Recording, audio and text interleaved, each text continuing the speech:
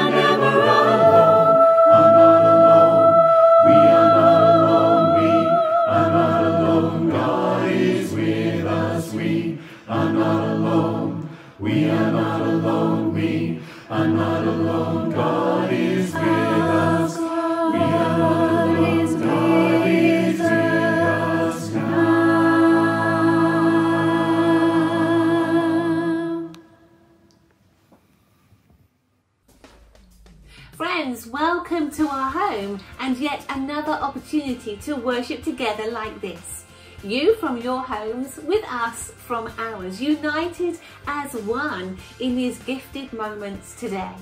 And whatever day you're joining us on is a gift given by God for us to experience and enjoy and to make the most of. Yeah. It's been said that every day is the world made new. Yeah. And I know what people mean when they say that because with a new day comes the possibility of a new start, um, a new beginning, and new opportunities as we come before God in worship, as heaven and earth connect, even in moments like this. And speaking of, of Earth, of, of planet Earth, um, in 1998, an astronaut called John Glenn spoke on radio from the Discovery Space Shuttle. And he said this I don't think you can be up here and look out the window as I did on the first day of our mission and see the Earth, our planet, from this spectacular vantage point. To look out at this kind of creation and not believe in God. He said, To me, it's impossible. It just strengthens my faith. And what an incredible sight and experience that must be to see planet Earth um, from up there. So, friends, may this time together, not, not from our spaceship, but from the sanctuary, the module of our homes, may this be a means of strengthening our faith, lifting our spirits, energizing us, and causing us to be um, in awe of God, our Creator, the one who placed the stars and the planets and the galaxies and the solar systems in, in place, uh, the one who also, who did all of that, holds us in His hands. It's incredible. And these kind of thoughts will flow through this service today as we worship our, our mega God who, who loves micro me. Hey, listen, we've got to exercise. Do that with me. Mega God who loves micro me and you.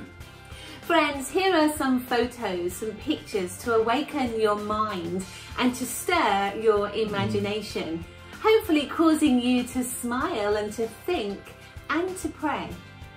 The first one. Imagine being on that bike. That would be hard work, wouldn't it? But do you ever feel like that? Burdened, weighed down, just too much to carry. Well, Jesus says, Are you tired, worn out, burned out on religion? Well, come to me and I will give you real rest. We pray, please help me, Lord. Amen. Amen. The next picture, friends. Look at that. A tiny frog sitting on the palm of a hand. I remember a bracelet um, some years back now with the letters F R O G, frog, and they stood for the words fully reliant on God. Is that you? Is that me? I hope so. For we are in God's hands, and they're the safest hands in the universe. And we pray, Thank you, Lord, for holding me, and please help me and use me to make a difference for you. Absolutely. Amen. Amen. And our third picture is of a dormouse. Now I'm sure you're smiling. Hmm. The power of a smile. Yes, even from a joyful dormouse. Joy is a fruit of the Spirit. The joy giver, the joy designer, the joy bringer wants you, wants me to know his joy. And so we pray today, Lord, help me to choose joy. Hmm. Amen. Amen. And here's our final picture hands making a heart. Why not try that at home if you're with others, or, or make a heart yourself using your two hands? An old hymn says, Now thank we all our God with hearts and hands and voices. Amen. Amen. Amen. Did you have a go at making a heart? Yep. You're struggling, aren't I'm you? struggling because I've got a, a poorly hand. we know. yeah, it's difficult. well, you can try that later too. Friends, we have so much to be thankful for. So let's lift our voices, our hearts, our, mm. our hands as we worship and we lift high the precious and wonderful name of Jesus.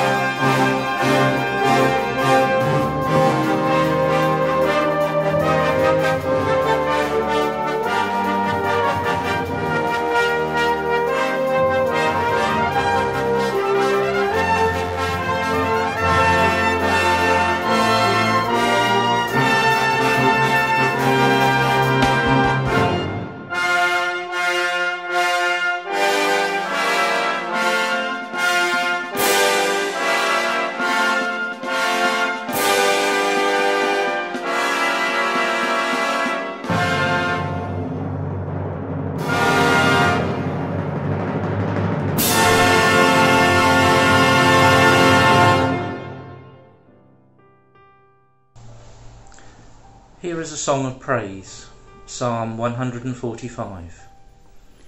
I will exalt you, my God the King. I will praise your name for ever and ever. Every day I will praise you and extol your name. Great is the Lord and most worthy of praise. His greatness no one can fathom. One generation will contend your works to another. They will tell of your mighty acts. They will speak of the glorious splendour of your majesty, and I will meditate on your wonderful works. They will tell of the power of your awesome works, and I will proclaim your great deeds. They will celebrate your abundant goodness and joyfully sing of your righteousness. Your kingdom is an everlasting kingdom, and your dominion endures through all generations. Great, Great are you, Lord.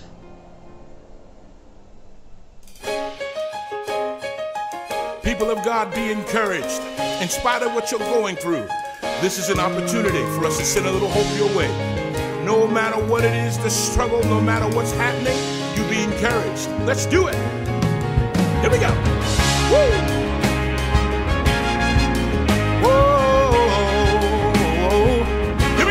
Y'all say.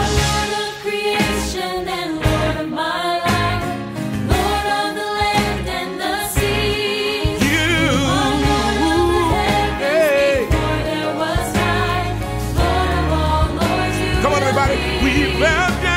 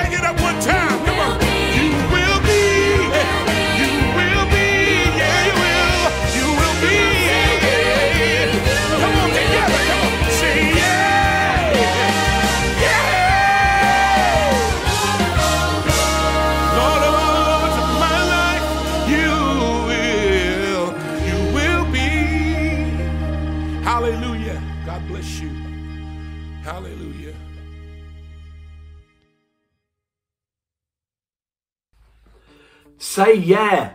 Yeah. yeah. What a great song that is. He is the King of Kings. He is the Lord of Lords. Uh, and that was Ronnie Murchison singing with the group Transmission from the USA Southern Territory. And did you catch what he said at the beginning of that song? He was speaking to each one of us.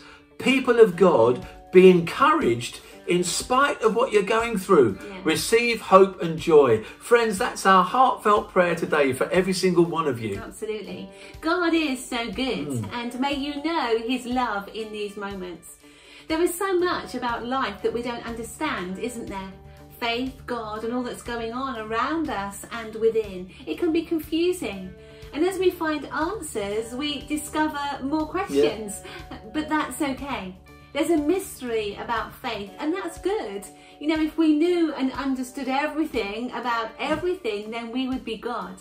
So I'm glad there's mystery and, and a wondering and that questions come all the time because that helps us to seek and to find and to trust and to hope and to believe that there's far more to life than what we see around us. Questioning unlocks answers, Yeah, doesn't yeah. it? And it's all Yeah. about trusting. But can we remind you what believing is and what it's not? Believing is not just saying, I believe. Believing is actually putting your life into the hands of the one you say you Yes, believe in. And his hands are the safest in the world. So it's a good place to let go and to land on, um, isn't it? In a moment, we're going to be hearing from some believers from Norwich Citadel. One is Kelsey, one of our young people. She's going to share um, some thoughts with us all. And then Martin Wheeler, who is a Salvation Army officer who works at our divisional headquarters, but he's also a member of the Salvation Army at Norwich Citadel, our fellowship. He's going to share a favourite scripture and why he's thought of that one to share with us. And then we're going to listen to Ali Thornton Stark, one of our friends. What a posh name um, she's got. She's going to share some more thoughts with us all. Ali works for the Salvation Army and will tell us a bit about that too. These thoughts will all be wrapped up with songs and videos of worship and praise to help us all on our life and our faith journey. But, friends, before all of that, um, did you know? Did you know? I don't know. Listen, I haven't told you yet, haven't I? So, how do you know? Listen, here goes. Did you know that scientists have discovered a planet?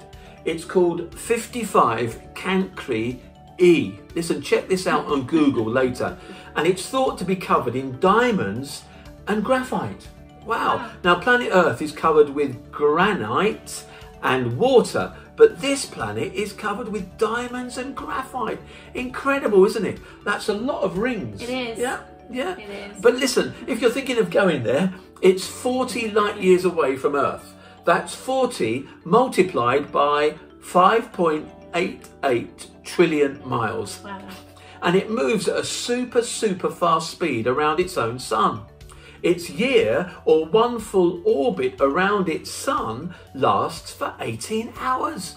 While, of course, Earth lasts for 365 days. One year. So, so one year on this planet is just 18 hours. Isn't that amazing? It is. But before you all rush off to find the treasure on 55 Cancri E, mm-hmm. not only is this planet so far, far away, you could never travel there, but it's also really warm. Mm. 4,400 degrees Fahrenheit. Now that's That's really hot. really hot, yeah. But here's the amazing thing. Listen, are you listening? Yes, they shout. You, you, you'll be spaced out by this. Listen carefully. There's an even greater treasure than all of those diamonds, and it's much closer to home. It's the treasure of God's Holy Spirit. When you became a follower of Jesus, this treasure came to live inside of you. He's your helper, your comforter, and your guide. And Jesus said in John chapter 14 and verse 6 that He's the Spirit of God living in us. And that's an amazing treasure worth more than a whole planet of diamonds. Mm. It's absolutely amazing, isn't it? That the God who did all of that Yeah. planet and solar system and star making loves me and you. Mega God loves micro me and you. Friends, think about all of these incredible things as we worship together.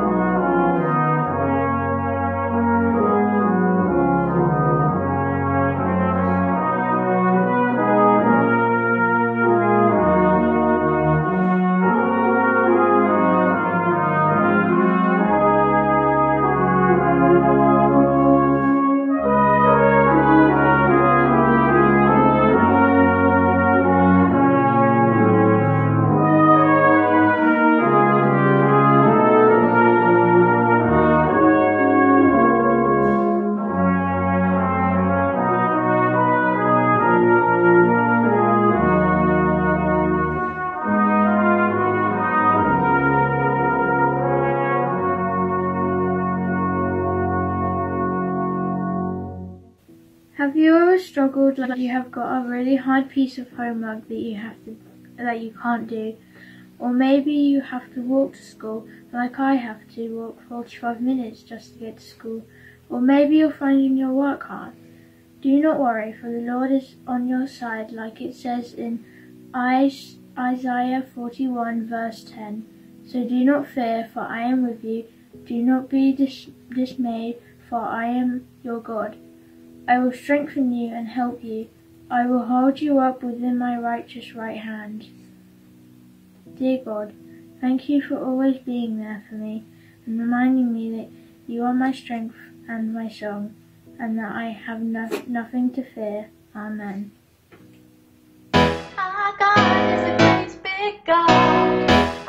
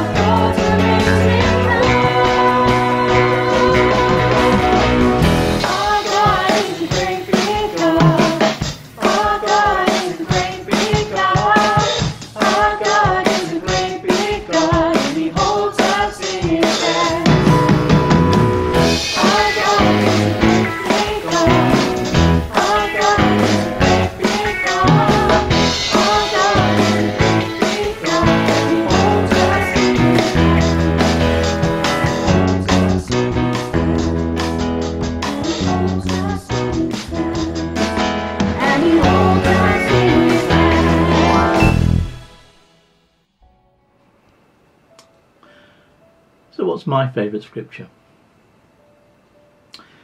Whenever I'm asked this, I always return to John chapter 21, and today will be no different. It recounts a pivotal moment in the life of Peter.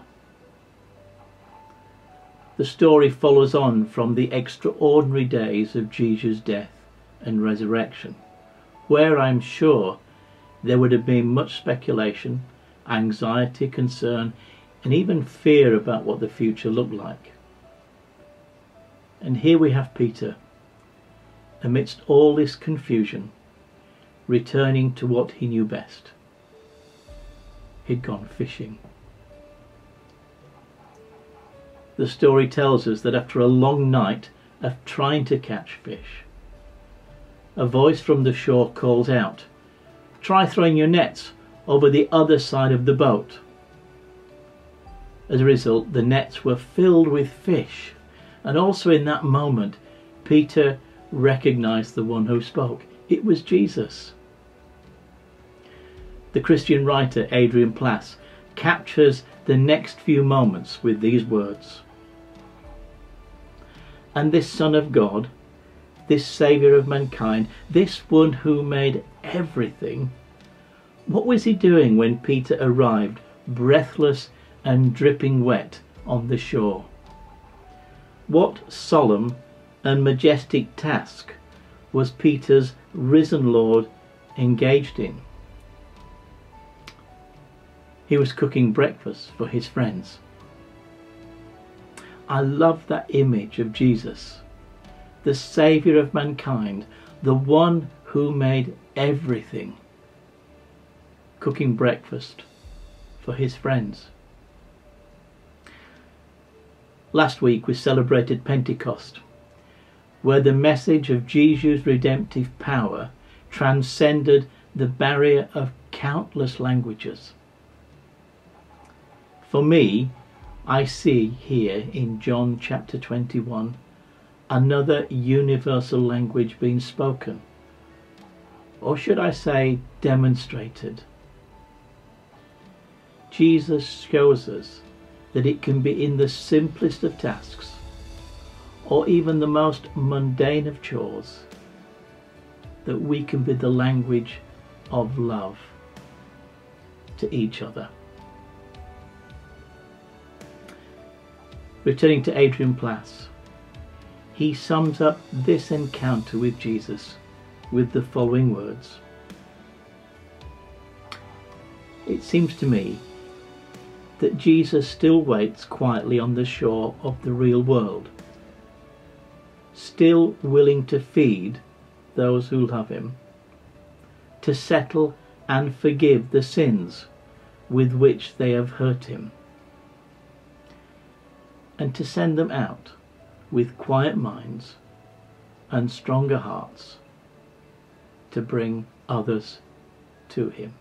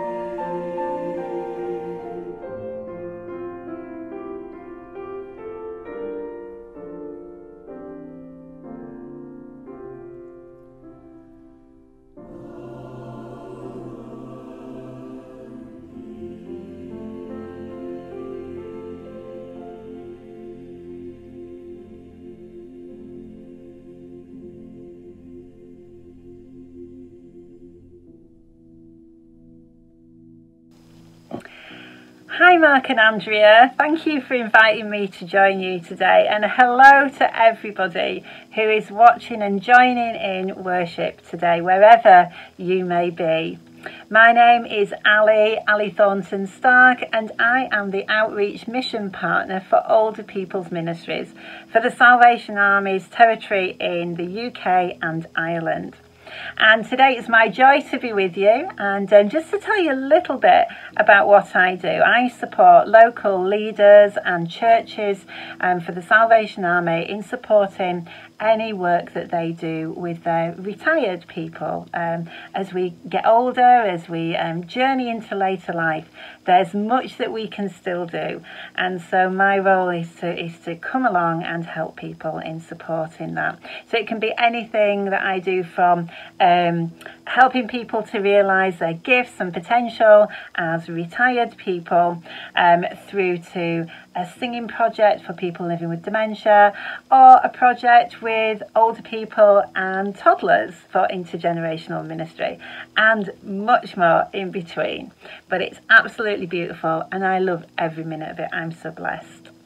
So today I just want to talk to you a little bit about my holiday.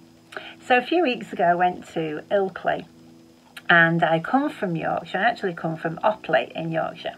So um, myself and my partner, we went down to the river in Ilkley and we were skimming stones and then I saw this amazing view and I took a picture which I just want to share with you now. So hopefully you could see a photograph that I took of a very simple wooden cross with a black um, bin liner attached to it. And as soon as I saw it, it was as if God was shouting, Ali, don't take your rubbish home.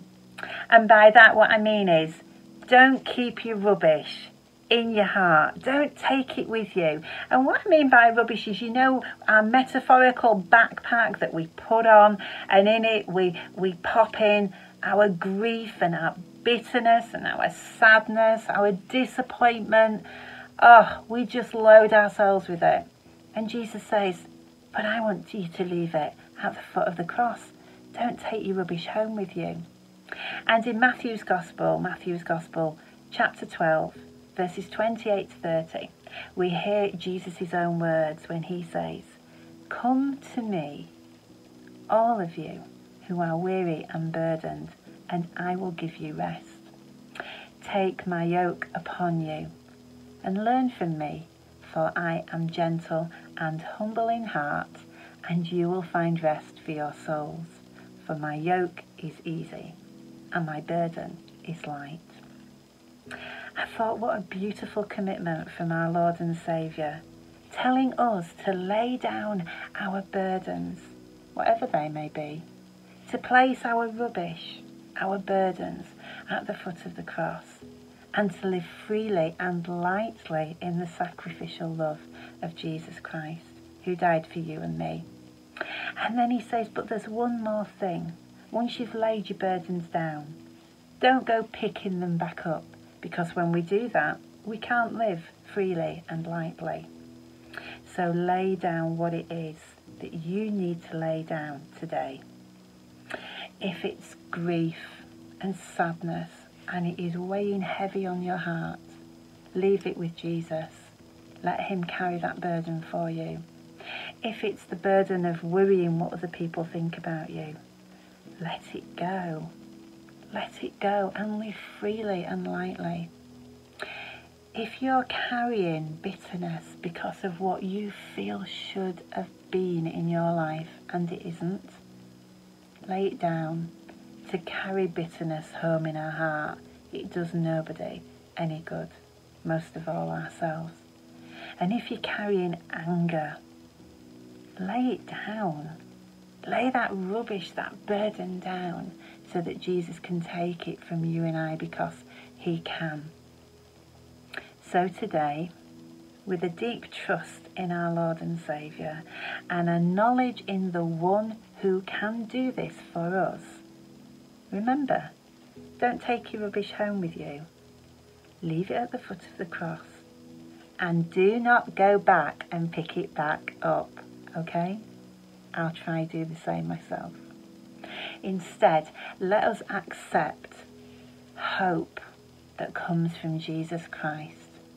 Peace, joy, restoration, healing, forgiveness, His compassion and love. All of this comes freely because Jesus paid the ultimate price on that cross so that He could take our rubbish and take our burdens. So, God bless you, my friends, this day and the days that lie ahead. And I pray that you and I will live freely and lightly in the saving power of Jesus Christ. Oh, and I hope we get to meet one day in person. That would be lovely. God bless you and take care, living freely and lightly in the precious name of Jesus.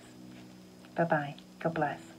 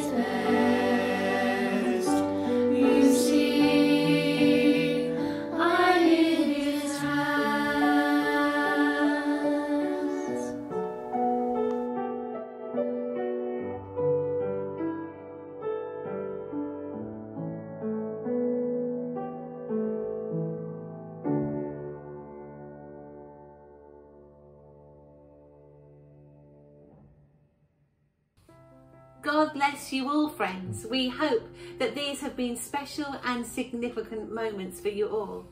And a big thanks to Kelsey and to Martin and our young people for helping us to experience this. And a special thanks to Ali mm. for that inspired and blessed thought. Thank you. And I really like the picture she used there too. Yeah. There are attachments again, friends, with this video for you to enjoy, devotions and studies for you to share in, including one all about joy. Have a think about that. And there's another one all about planets. Uh, I'm sorry we haven't attached any real diamonds Oh, um, to this too, but do enjoy those. And can we say to our friends at Norwich Citadel that there's no Zoom worship today? So enjoy your bank holiday walk, or your jog, or your bike ride, or, or your swim, or, or your skydive to try and find that planet with the diamonds on. We started our time together with some pictures, so here's one more. Have a look at this. I'm sure you're all smiling now, yeah? Do you know anyone who looks like that? Answers on a postcard, please. Vision. That's the word I want to use for this picture. Vision. The Bible says, without vision, the people perish. We need God's guidance and insight, God's leading and God's hmm. presence, don't we? May we all continue to seek His will and His way as we follow Him and see the world through His eyes. The one who gives us vision. Hmm. So before we sing and see pictures to the hymn Be Thou My Vision, let us have the privilege of praying with you just now in these sacred moments. Hmm. Let's pray together. Jesus, light of the world, open my eyes that I may see your presence that is all around me. Open my ears that I may hear the voice that is quiet yet ever near. Open my heart that I may feel the love of God close and real. Open each sense, make me aware of the power and peace always there. Thank you, Jesus. Amen. Amen. Friends, continue to be blown away and amazed that the God who placed the stars and the planets in space loves you. Yes, remember, Mega God loves Micro Me and you, every single one of you. God bless you, friends. Bye. Bye.